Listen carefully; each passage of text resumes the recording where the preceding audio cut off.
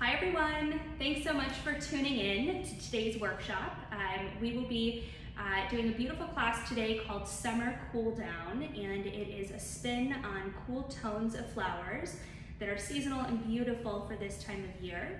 Um, the inspiration of course was that we are all dying from the heat and even though the colors of August tend to be more of the really vibrant reds and corals and pinks, um, there is something to be said for just fresh, cool whites, lavenders, purples, and blues.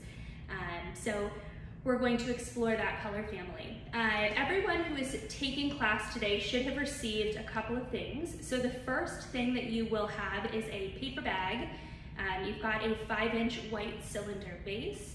Um, you should have chicken wire, which is tough to see, but this is chicken wire. Uh, and then also a beautiful bucket of flowers. So uh, there is also an ingredient list tucked in if you want to follow along with the exact quantities of stems that we'll be using.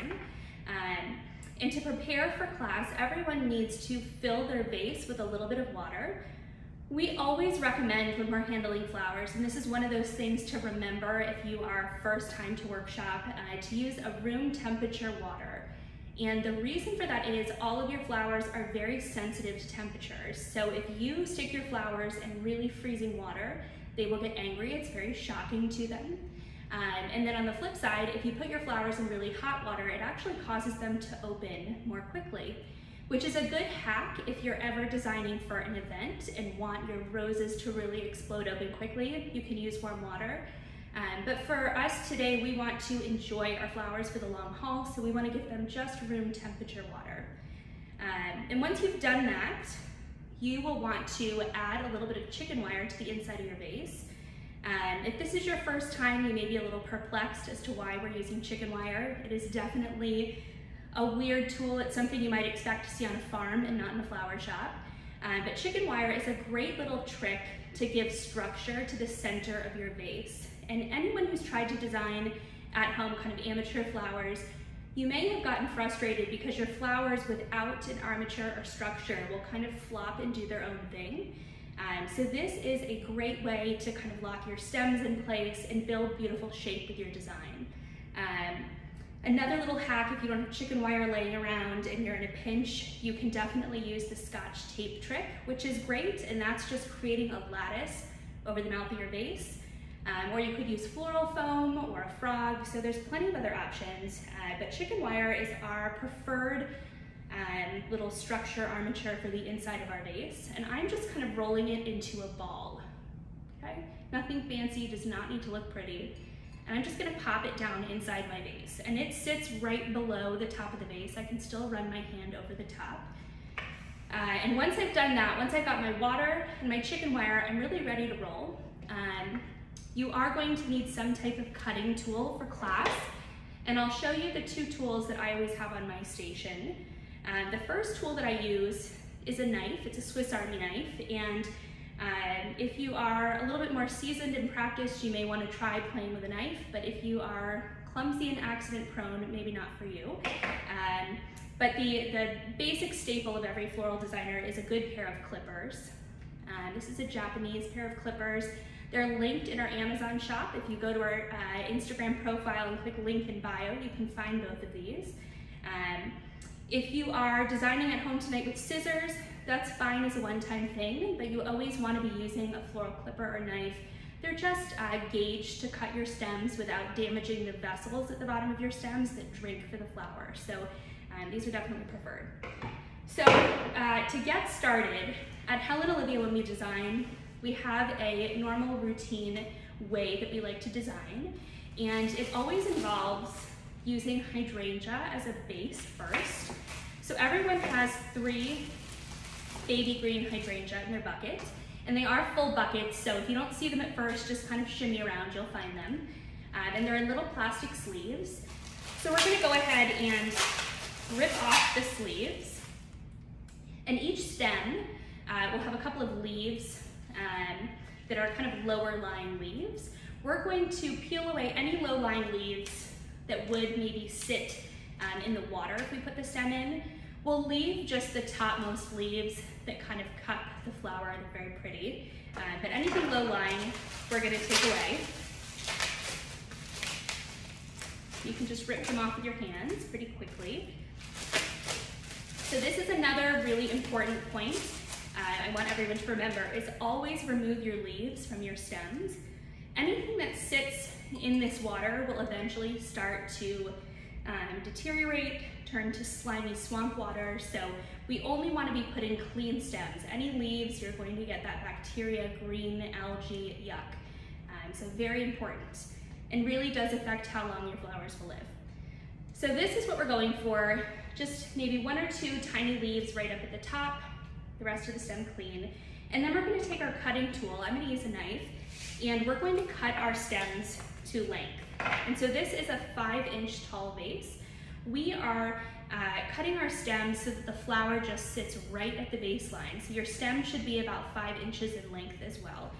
And we're going to allow our stems to kind of crisscross into the center of the vase. So there's my first hydrangea. It's just sitting on the edge of the vase and I'm gonna space my other two equidistantly. So we'll kind of divide uh, the vase into thirds. And this hydrangea, the reason why it's the first ingredient in is because we want coverage. Um, hydrangea is by no means the coolest or sexiest flower that we will design with. It is though cheap and full and pretty, so we're using it to trace out the shape and give some weight to the center of our design. So I'll give a little spin, I'm on a Lazy Susan. You can see they're pretty tightly tucked into the vase. Um, and these hydrangea leaves that we've left on are giving us lots of good coverage. So the goal is we don't want anyone to see our chicken wire. That's like our magic trick on the inside. We just want to cover it up. All right, so we're gonna pause on flowers and play around with some pretty greenery to now further trace out the shape of our design. So anytime we're designing at Helen Olivia, the order of ingredients is always hydrangea first, greenery second, and then all of the flowers. So our next uh, green that we will put in is an umbrella fern. Um, it's named because it looks just like an umbrella. And it's a really beautiful wispy green. And even though it looks really delicate, it is pretty long lasting, so it's nice for that reason. And we're again going to cut the stem down to about that five inch length. And we're gonna tuck the umbrella fern in kind of from the side. We want it to have a little bit of a lean. And don't be afraid to kind of reach in and manipulate your umbrella fern so it sits nicely. So I'll spin it around. My umbrella fern is definitely oriented more to one side. And at some point you kind of have to let the flowers talk to you and figure out where the umbrella fern looks most beautiful and maneuver around. So I like the way that's sitting. And if at any point your umbrella fern feels unruly, you can always do what's called a haircut, meaning go in with your clippers and just cut away the part you don't like. Um, so there's nothing wrong with using three quarters of your umbrella fern and just getting rid of whatever's bugging you. All right, so next up we're gonna layer in a little bit more greenery and you'll have to dig into your buckets. We're going to use a couple of pieces of green bush ivy. Um, fun fact about bush ivy, well it's part of the ivy family, but this is actually what grows on the side of the highway. So if you've ever seen those huge retaining walls on the side of 495, for example, that have really pretty greens spilling over, that's what this is. Um, it's beautiful, it's really nice and shiny, um, and it's also a great green because you can divide the stems, so you get two or three for the price of one. Um, so I'm gonna do just that. I'm going to um, break the stem down into two pieces. As long as the stem length is around five inches long, you are in good shape. Um, and I'm gonna do the same thing I did with my hydrangea. I'm just peeling away any of my low-lying leaves that would go into the water. I like to do all of my repetitive work at once, so I'm just cleaning all of my stems of bush ivy, and then I'll work on getting them in a second. So, oops, I just took my umbrella for an now. Let me tuck that back in. All right, so now I'm gonna go ahead and pop in my bush ivy. And I'm gonna use this to fill in the space in between the hydrangea. Um, and I like to let my bush ivy hang out just a tiny bit farther than the, the hydrangea um, to give it a little bit more of a natural look. But this is a personal taste scenario. So if you are somebody who likes a really natural, free-flowing design, you may wanna let your greenery hang out a little bit more. And if you are more of a really uh, type A, tightly packed pave type of designer, you may want to tuck it really nicely. Um, so it's up to you. Whatever speaks to you is what you should do. All right, so I've got my bush ivy filled in. I'm gonna then uh, reach for my next greenery, which is a beautiful Baptisia foliage. And you can tell just by the way this is kind of bouncing around that it's got pretty movement and drape to it. Um, I call it a little bit floaty. So anytime you've got a floaty green, I like to allow it to kind of hang out a tiny bit more, be a little bit more natural. So um, again, you pick what feels good to you. I'm allowing this Baptisia foliage to kind of sit maybe an inch or two past my hydrangea and I'll spin it around for you as I'm letting these pieces float out a tiny bit. And I'm just being careful as I go to strip away any of the low-lying leaves that would get down into the water, okay? Just peel those right off with your hands. Baptisia is a greenery that's very seasonal, so it's uh, a local green. You cannot buy it or import it from other parts of the world. It's domestic. Um, and it's available really only in the summer months as a result. Um, you can buy just the foliage, which is what we have, or you can buy it with flowers, and it has a little pretty blue flower. It's a natural blue flower. Um, so tonight we're just using the greenery. Okay, so just spinning around, making sure I get really good coverage from all angles. And you can see, now that we're really getting through our greenery, that this arrangement could be just green and it looks full and beautiful and lush. So um, you can tell it's gonna be really something when flowers go in. All right, next up, we're going to add our current favorite type of greenery, which is a little bit of ligustrum. This is part of the privet plant. And again, we're just gonna be stripping off these leaves and sticking in our ligustrum. This is one of the things that I think makes an arrangement really unique and beautiful. A lot of people say that they're anti-greenery, or when they place orders with us, they say, um, you know, not a lot of filler. Um, for us though, you know, as designers, I think we all really appreciate the greenery and think that it's what gives a little bit of extra interest to the arrangement. So we're, we're a pro greenery design team for sure. And hopefully you guys are seeing how beautiful of a base it's really going to create. All right, so our final little bit of greenery that we're gonna pop in will be lamb's ear. And this is a favorite of mine. This is coming from uh, one of our local farmer friends. This came from uh, Farmer Jen. Um, and it's beautiful. It has kind of the feel of Dusty Miller. It's definitely like a soft, fuzzy green leaf, and it's got a silvery green hue to it. So it's a perfect fit for our color scheme tonight. Uh, so I'm gonna go ahead and just cut my stem and nestle it in my green up. And I like to let it kind of pop out a little bit so you can see it. Um, so that concludes our greening up of this design. We've now got a really beautiful base to layer in our flowers. And so another takeaway, a thing to remember for the next time you design is do not underestimate the importance of your base. So make sure you get structure inside your base, like chicken wire or a tape grid or whatever. Um, and then hydrangea and a substantial amount of greenery is really key to creating beautiful shape and fullness. Um, so for this one little five inch cylinder, we put in four or five different types of greenery. It took a lot of product to achieve just this little bit of fullness. Um, so I think a lot of people underestimate how much they need to buy to create an arrangement. All right, uh, so our next ingredient that we're going to play around with is a flower. Thank God you all paid the price putting in all those greens. Um, so we like to start when we're arranging um, hydrangea, greenery, and then we go into roses next.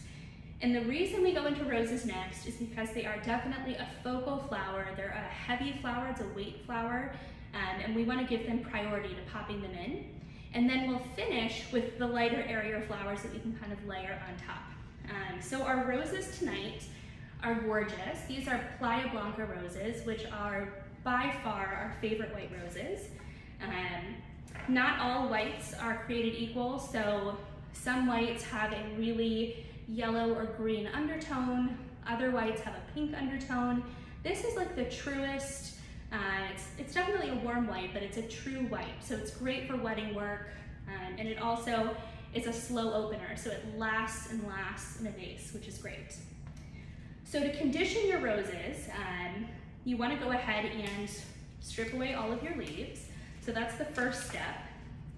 And then the second step with your roses is that you're going to want to peel away the guard petals. And the guard petals is what does not look pretty on the outside of the rose. Um, so the guard petal at one point was part of the outside of the rosebud and it's been banged up and bruised um, during transport and just over time. Uh, so we're going to peel those away.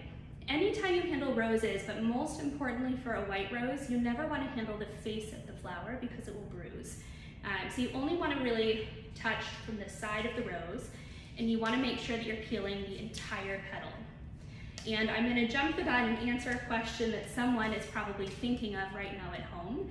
Um, and that is, uh, how many petals should I be removing? And the the answer is there's no right answer. So you wanna just look at each rose um, independently. Some roses you'll need to take off five or six petals.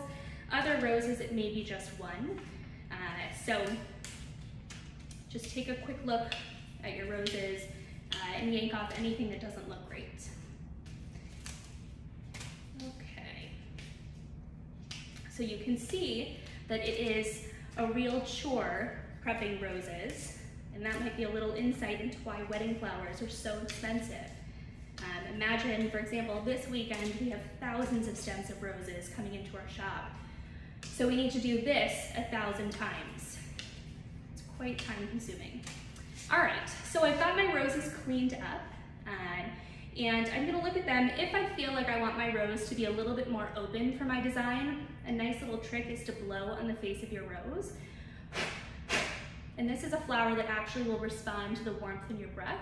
Uh, does not work for other flowers, so you'll just look crazy if you're blowing on your hydrangea, but for roses, it's a good little trick. Um, and then I'm gonna go ahead and cut my stems to that magic five inch length because our vase is five inches tall. And I'm gonna go ahead and gently pocket my roses in. Now, since I have six white roses, I'm gonna actually try to achieve little groupings of my roses. Roses are a flower that like to travel in pairs or in trios, um, and that gives a little bit more impact to their placement. So I'm gonna do a trio, which will look kind of like a triangle. So I've got one, two, three. Um, and when you do trios, don't feel like they have to be right on top of each other. There can definitely be breathing room between them. So I'm gonna pop in that trio, and then I'll do another trio on the back side. And I'm also going to be mindful as I design that I'm kind of putting my stems in at angles that curve and arc all the way up in the top. You definitely don't want to have a flat top. That's something to watch out for. Um, it can look kind of like a failed souffle project if you uh, have a really recessed top. So make sure to give a nice curve. Okay. And I'll give you a little spin. starting to come together. Um, and now I'm gonna switch over to my beautiful lavender roses. So these are called Ocean Songs, and they're a really beautiful cool tone lavender. Um, a lot of the time when we order lavender roses, if you're not careful with the variety, you can wind up with something that's very pink. But this is a great, cool, silvery lavender. And we're gonna do the exact same thing. We're going to um, peel away the leaves and just clean up the guard petals take off a couple. However many your rose needs taken off, go ahead and do. And again, if you want to open your rose a bit more, you can blow on it. And then we will pop these in. Now, since we only have three of the Ocean Song, don't worry so much about grouping them. You can just kind of pocket them in wherever there is room. And lavender and white is such a pretty combination together. We really love uh, this pairing. All right, so I've got all of my roses worked in. Um, I am next going to grab for my beautiful blue delphinium. Delphinium is one of the few naturally occurring light blue flowers. There are not many of them. Um, and this is just such a pretty shade of sky blue. This is um, what's considered a short grade of delphinium. There is also a much taller grade that is much more expensive, but this is at least within reach for everyday design. Um, and because it's such a linear flower, we can do one of two things. So we can divide the stem into two pieces. Um, so if you wanted to do that, you would cut uh, towards the bottom of the stem and save yourself one little cluster here, and then you can use the top this delphinium as a separate stem, or you can just strip away the low-lying blooms and just use this as one stem. So it's up to you how you'd like to divide up your delphinium, but either way you are gonna have to peel back a little bit of your flower, which is sad, uh, but necessary, it's a necessary evil. And then we're just going to tuck our blue delphinium in. This is definitely a flower that you want to allow to hang out or float a little bit past your roses and hydrangea um, to give your arrangement a bit of an airy feel. So how far it floats is up to you. I'm doing maybe two inches past my arrangement, um, but again, personal taste and aesthetic. So I'll do a little spin for you. So I've got it really evenly spread and divided over the arrangement. The next flower I'm gonna work with is a flower that up until a few months ago, we had pretty much no experience with here at Helen Olivia. On a whim, I decided to order it uh, from a Dutch importer. This is called Phlox, and uh, I'll be honest, it's not a super premium flower, but it is a flower that we are growing to love. Uh, it's very light, very airy, and great to kind of fill in an arrangement. Um, there are certain varieties of phlox that are not so pretty, but the white phlox um, has become a favorite of ours. I think it's a beautiful accent and great for summer. All right, so we're going to, again, peel back all of these low-lying leaves and then cut our stems a little bit shorter and just pocket this phlox in. And it's so beautiful and light and it's just a different shape. Um, when you're designing, it's great to always think about balance. So if you're using a lot of heavier blooms like hydrangea and roses, it's really nice to kind of counterbalance that with some lighter, airier flowers like the phlox. Um, and phlox is another great option for a vase arrangement like this that you would enjoy at home because it opens over time. So when the blooms that are already open expire, you can kind of pick them away and the rest of the buds will open up. So it's a nice Nice little flower. As you go, don't be afraid to kind of zhuzh, my favorite word, zhuzh. Um, a lot of times the flowers will shift and move around a bit, like I'm noticing my top rose is kind of sinking down, so uh, don't be afraid to maneuver things around. Um, our next ingredient is an interesting ingredient. Um, it's called Tweedia, and it is again a natural light blue flower. Um, Tweedia, I say, is interesting because it does something that most flowers do not do. So Tweedia, when you go to pull away your leaves, you will notice that your hands may feel a little bit sticky. And that's because Tweedia, like milkweed, puts out a little bit of a white sap. Um, it has a smell to it. It's not, it's not a good smell. It's not a bad smell, but it definitely has a smell. Um, and it's sticky. So just be aware as you go you're not crazy you think your hands are feeling a little sticky. Um, we're going to peel away everything low-lying, just leaving the topmost blooms. Um, Tweedia is such a popular flower right now, especially in the wedding world. Uh, the color blue has kind of taken off. We're seeing blue mixed with lots of other colors that we didn't see mixed with before. Like we're doing a lot of weddings that are peaches and blue, for example, or lavender and blue. Uh, and Eye is a flower that all of the brides are coming in with pictures of because it's just so pretty. It's a true sky blue color and it's great for bouquets. It's very soft and dainty. So we'll go ahead and pop this in. I don't know about you guys, but I'm feeling cooled off already. This is great. Um, and just a few more ingredients to pop in. You'll notice if you've been kind of paying attention, we started with the big heavy flowers first, and towards the end of the design, we're left with really tiny wispy flowers to layer on top, and that's very intentional. So uh, we're just using some really light flowers to add a little bit of accent to the design. Uh, so the next ingredient that we'll pop in is clematis. This is a clematis vine in a lavender color. It's a flower that looks pretty delicate, but is actually very long lasting. Uh, so we'll go ahead and strip away the leaves and we'll just pop in the flowers. It's a little bell-shaped flower and it will continue to open up and soften a bit in the design. And I absolutely want to allow this to hang out a little bit farther, so don't feel like you have to super tuck your clematis in. It's beautiful and happy to kind of float out of the vase. Okay. I also love to sometimes use clematis a little bit lower down in the design so it can kind of drape and spill forward.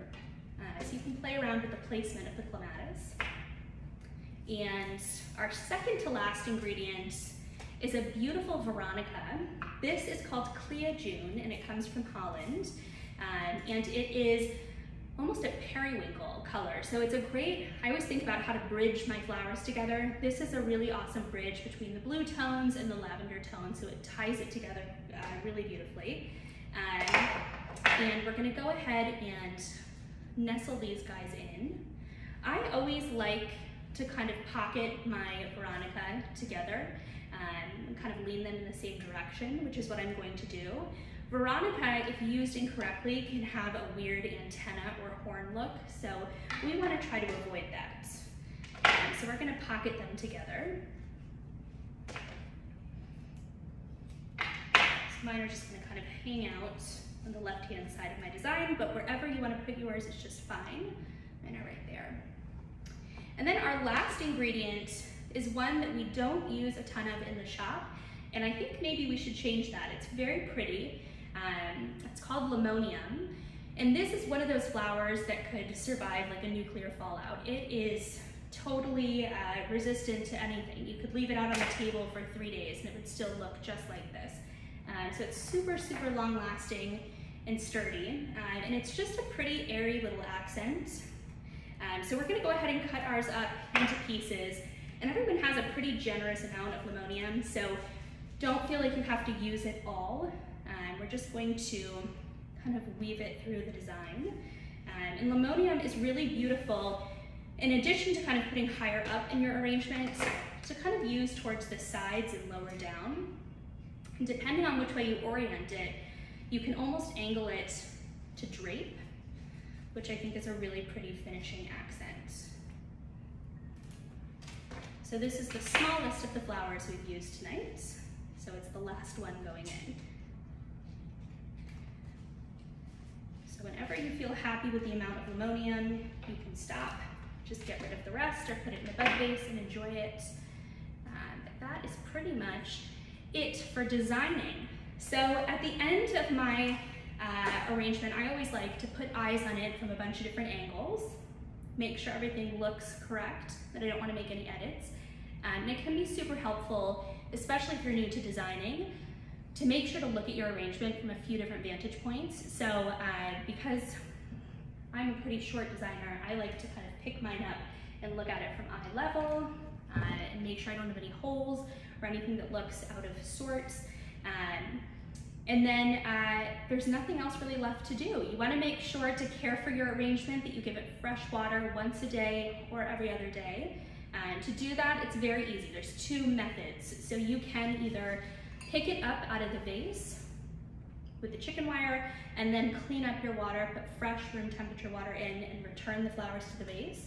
Or if that terrifies you, um, you can leave it in the vase and just stick the whole arrangement under a running faucet and let the old water kind of flush out and put new water in. Um, the other thing to be mindful of is making sure that your flowers stay out of really intense sunlight. So bright sunlight will kill your flowers faster. Uh, definitely keep them in a shaded spot and away from any heat vents. And they should hold up really, really nicely. Um, if anyone has any questions about class tonight, feel free to DM us or uh, shoot us an email. We'd be happy to follow up with you. Um, otherwise, we hope you enjoy your flowers and we will look forward to seeing you in another class soon. Thanks so much.